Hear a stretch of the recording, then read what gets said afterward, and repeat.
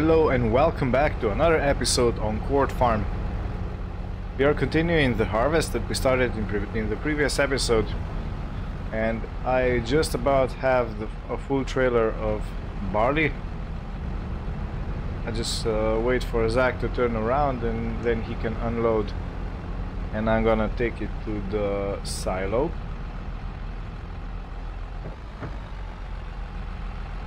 And in the meantime, while he was he's harvesting, I was checking out the uh, what's available for tractors on the market at the moment, but nothing in our price range comes up.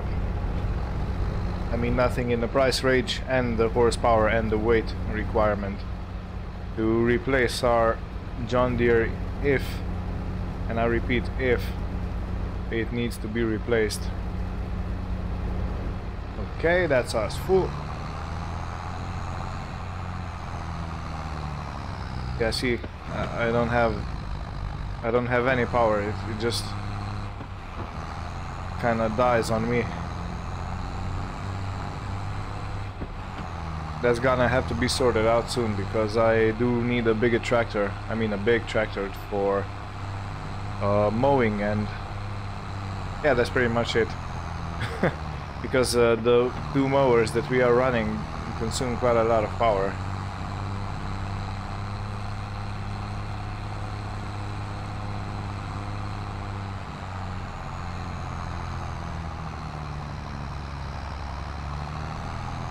I'm pushing the pedal to the floor. This is all we get out of it.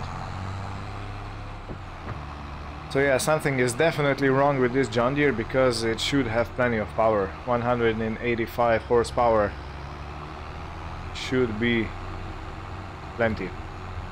And it's not, you know.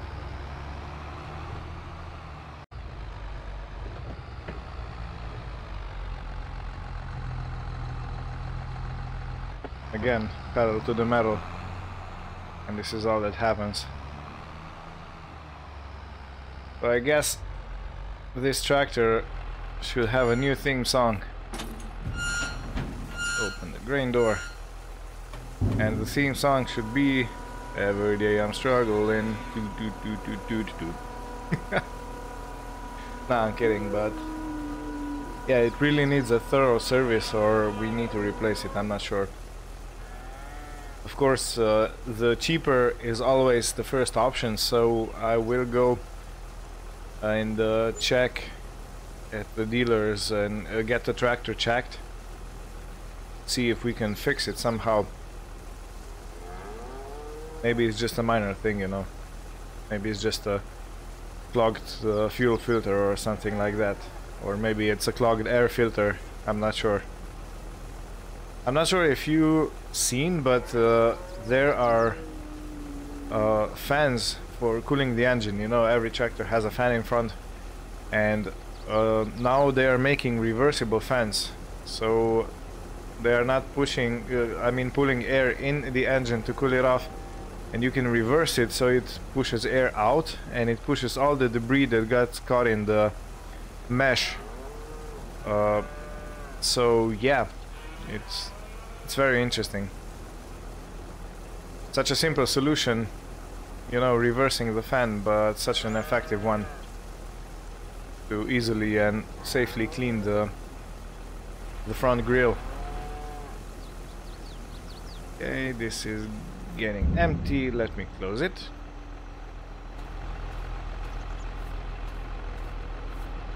But looking at this, okay, it is dirty, but it doesn't look to be clogged up. No, I can see the engine, so it's not... It's not fully clogged.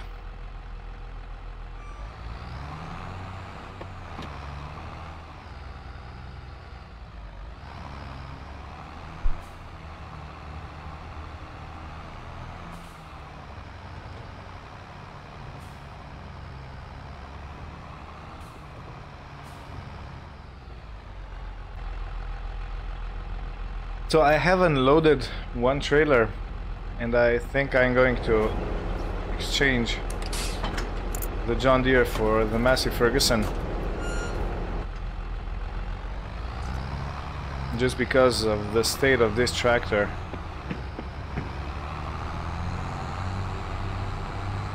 And I'm gonna put it straight into the workshop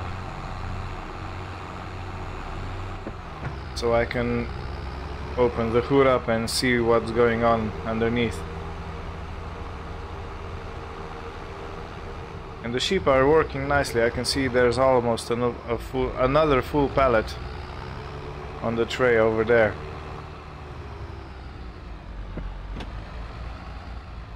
And while I have this turned on, I will try to put it onto the ramp over here.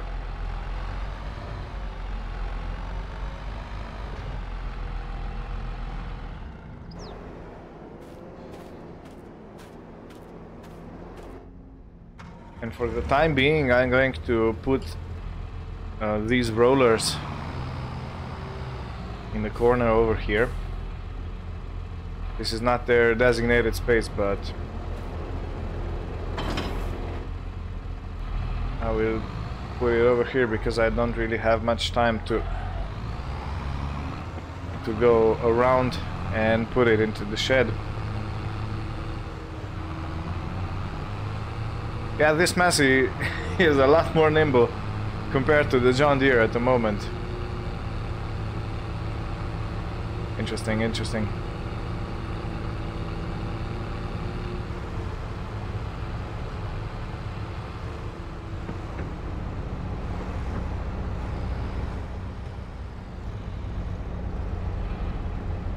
So the Massey has 170 horsepower and it should be it still should be good for this uh, grain carting.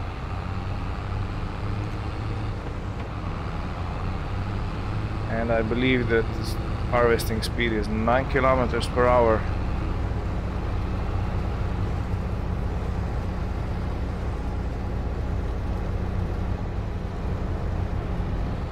Perfect.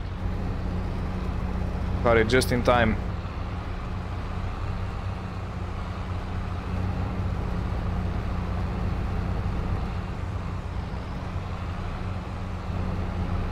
I'm not sure what Zach's gonna do right now. Okay, he stopped for the unloading part. And that's it. The combine empty.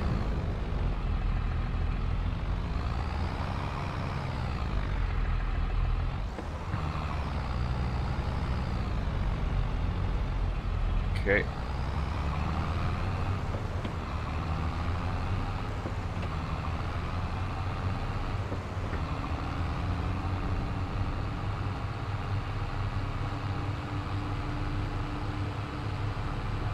And again, I want to get ready somewhere around here. Because the field is long and... I mean the longest at this part of the stretch so it uh, also fills up the grain um, the grain not cart but grain grain hopper uh, the fastest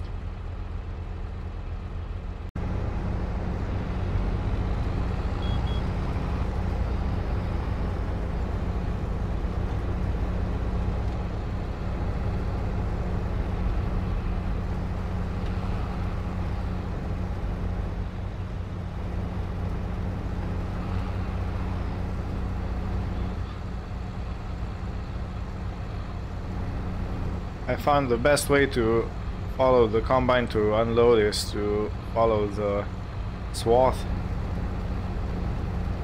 then it's approximately in the middle and also you're not driving over the straw so you're not compacting it down and make it difficult for the baler to pick up.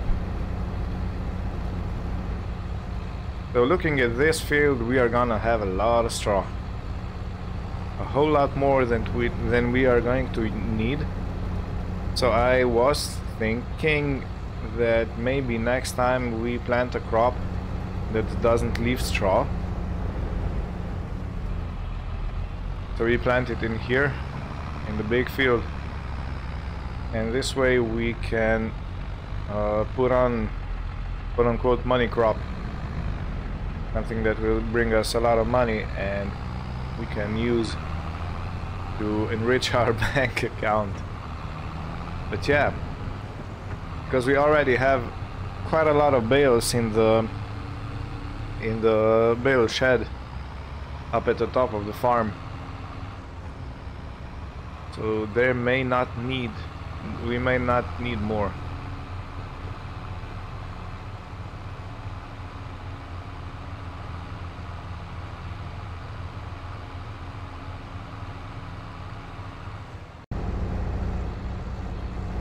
Yeah, so what would be the perfect cash crop? I know canola sells for a, a nice amount of money and it's also easy to harvest. There may be some more opportunity to put on maybe sunflowers because we are going to need we are we're gonna have to buy a header for the corn harvest is gonna be very soon. It's already around the corner. And the same header can be used to harvest sunflowers. So yeah maybe sunflowers. I'm not sure. Maybe we can take a look and, start uh, I don't know a production at our farm. That is also an, an interesting thought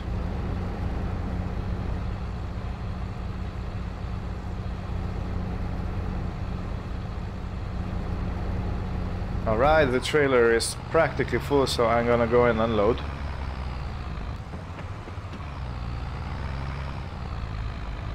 Okay, let me put the ranges down. So the Massey also struggles, but not that much. Not, not as much as the John Deere. Yeah, yeah, nah. A uh, big difference. In the John Deere I would already be switching gears to lower ones.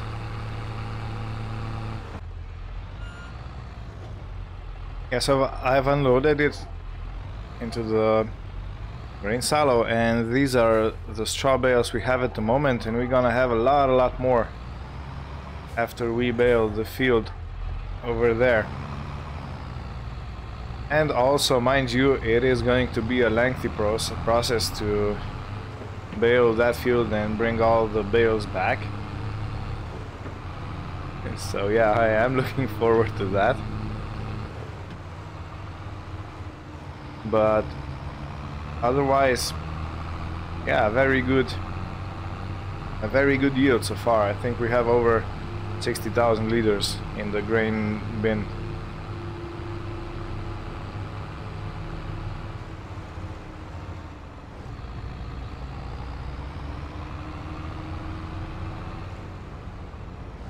But the question is, is the combine gonna be full before it reaches the end or not? Everybody take a wager now.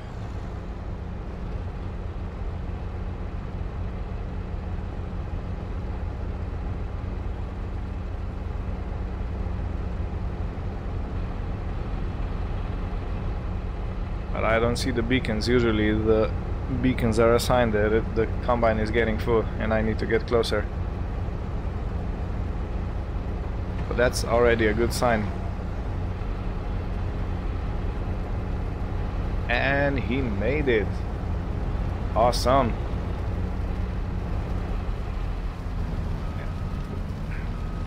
He was not aware he was gonna reverse. Get away.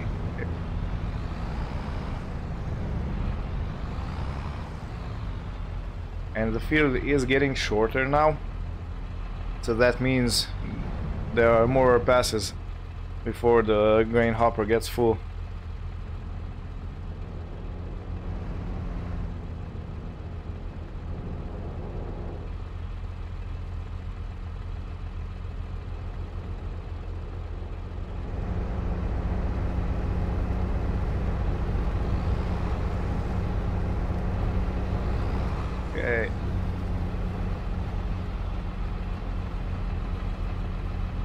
So what I like what I like to do is uh, start filling the trailer from the front so it uh, puts some weight on the hitch and then slowly creep forward until it's uh, loaded evenly all the way.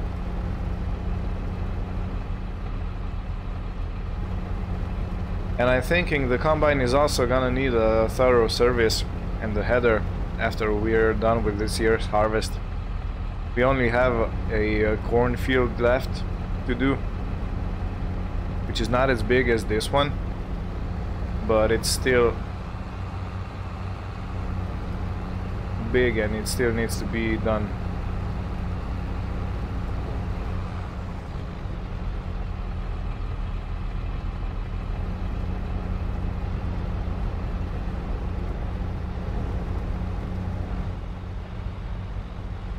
And turn around.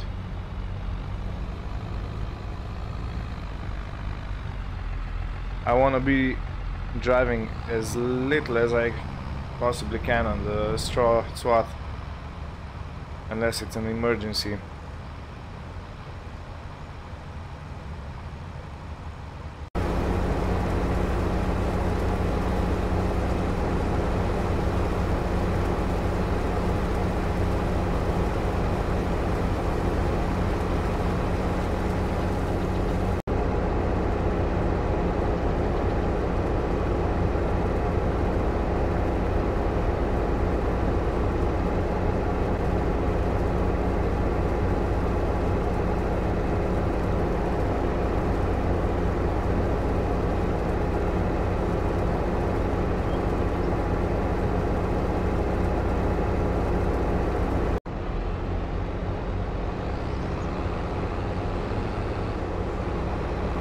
So now we are probably doing second to last unloading.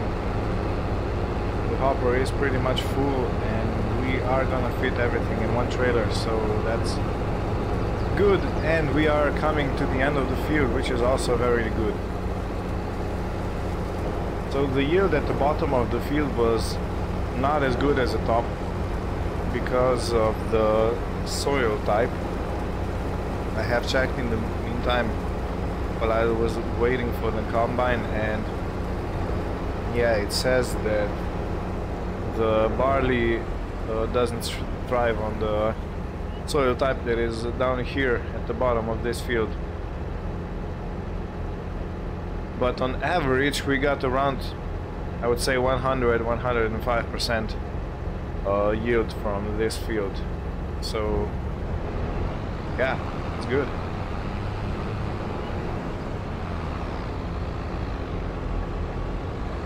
I have also checked the state of our yeah I know it's heavy. So I have also checked the state of our slurry lagoon and it's completely full. So when I end this uh, harvest I'm going to take the machines back to the farm. And then I'm going to hook up um, slurry tanker and take a few loads I believe on the grass field, I'm not sure, that we mowed and I need to take a few loads to be sold at the, what's it called, at the biogas plant, so the BGA.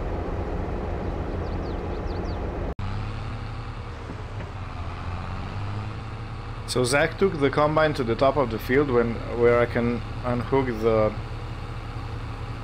header and I am going to go to the farm via this road. And we can also take a quick peek at our cornfield.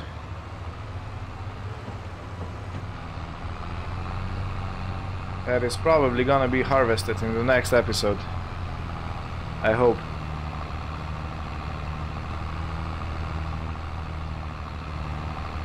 But yeah, I do have to check how much grain I have.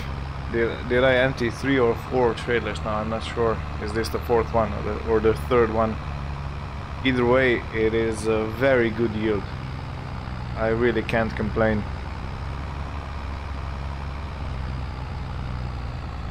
You have barley for days, months. maybe even years. But no, we're gonna sell it before it comes to years.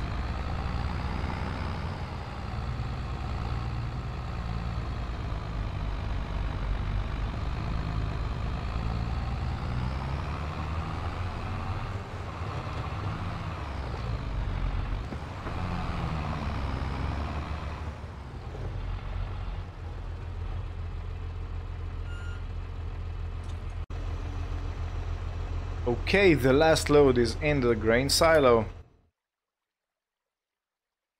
And we have 89,000 liters of barley. So that effectively means we had four trailers because it's around 20,000 liters per trailer. And yeah, I would say that is a, a great yield.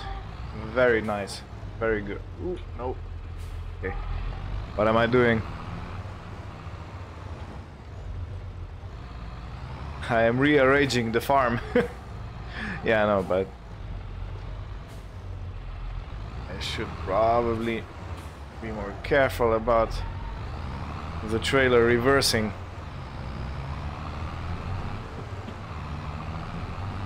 Good.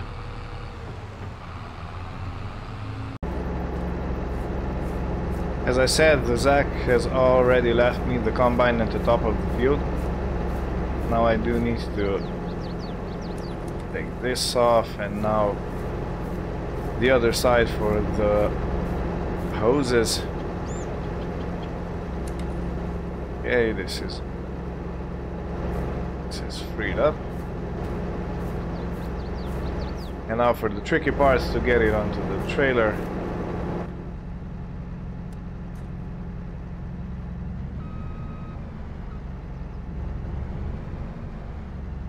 So on some trailers you can orient yourself on the wheel because it's uh, straight in the middle but this one is not. So I think I I think this is lined up enough. Carefully, carefully. Okay, I can see the the pin here, let's reverse a bit and this should be perfect. Let me unhook. And reverse, and yes, perfect.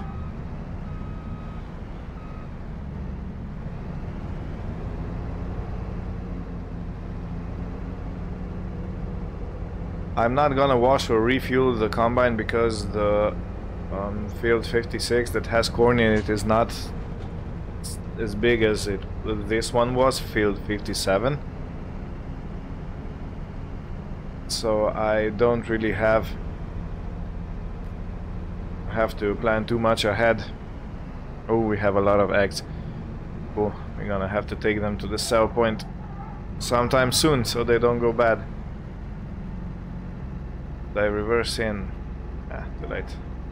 I'm already lined up to go straight in. And and and turn the lights off. Engine off and out.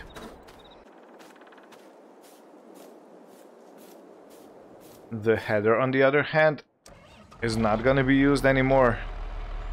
Unless we go help someone out, but otherwise I think it's not gonna be used anymore, so I am gonna clean it. And I am going to put it into the workshop so we can make a service. Clean all the debris out clean the dust uh, re-grease the joints and every moving part.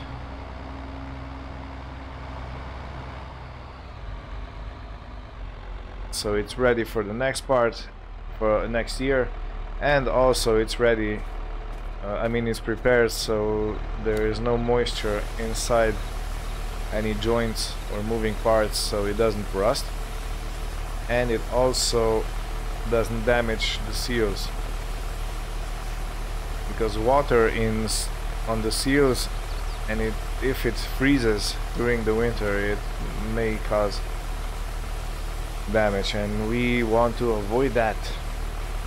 This is not a new combine, so we have to take extra steps to keep it running, keep the operation smooth. And I think is, is good. Let me just look in, so I do have space in between the combine and the plow.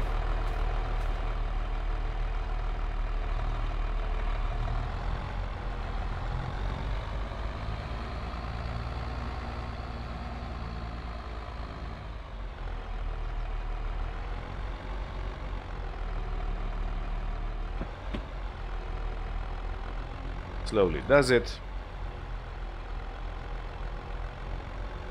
Slow is smooth and smooth is fast. This is a racing racing saying. Alright.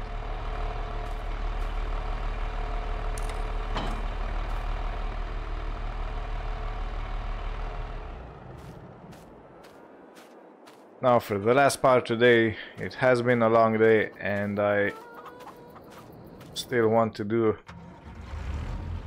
the slurry spreading because we have the full slurry tank and it can't wait anymore. So yeah, I'm gonna show you just a little bit of this operation and the rest I will do off screen Otherwise the episode will go on and on and on for hours and hours.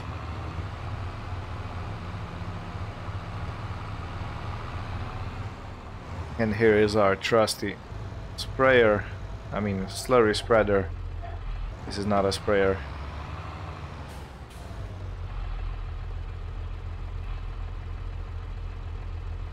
Okay.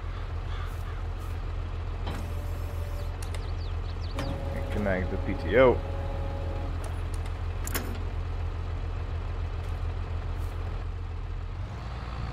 So the grass in this field has not regrown yet and this is why we're gonna spread some slurry on it to increase our yield and I think that is going to be another hay harvest so, ooh, careful.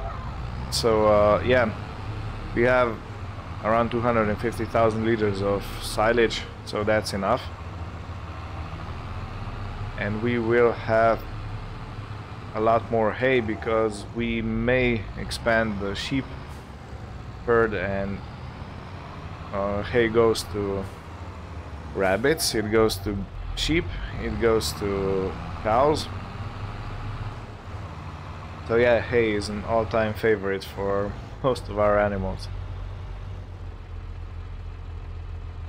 Alright, let's hook up the hoses from here to here.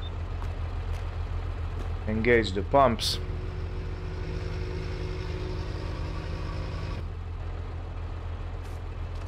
Hoses off here and here.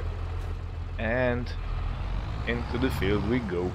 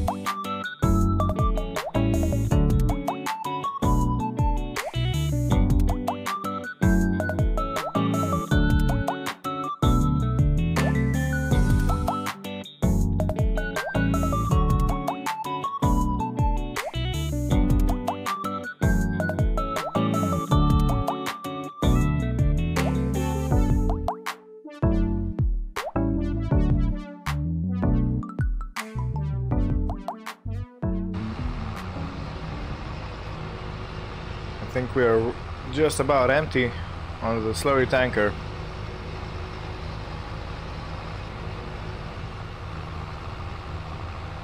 So with this, I will continue off screen. Yeah, that's it, we're empty. Uh, I will continue off screen. I would like to thank you all for watching, all you good people. And I wish everything good for you, the best. And see you in the next episode. Bye bye.